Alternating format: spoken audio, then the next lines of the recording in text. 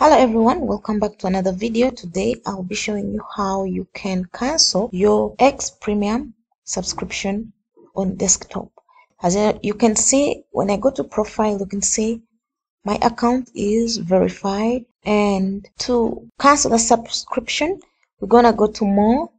Under premium you click on that and then scroll down to preferences.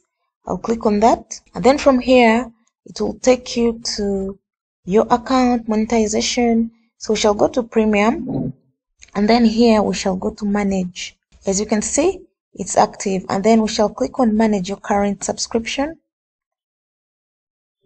And then it will redirect you to your current plan.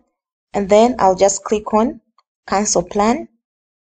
After that it will ask you to confirm. So you can say your plan will be cancelled, but it's still available until the end of your billing period, which is 25th of every month. So I'll click on cancel plan. And then it will ask you, why have you cancelled? So for whatever reason you cancel it, you can tap on that. And then I click on submit.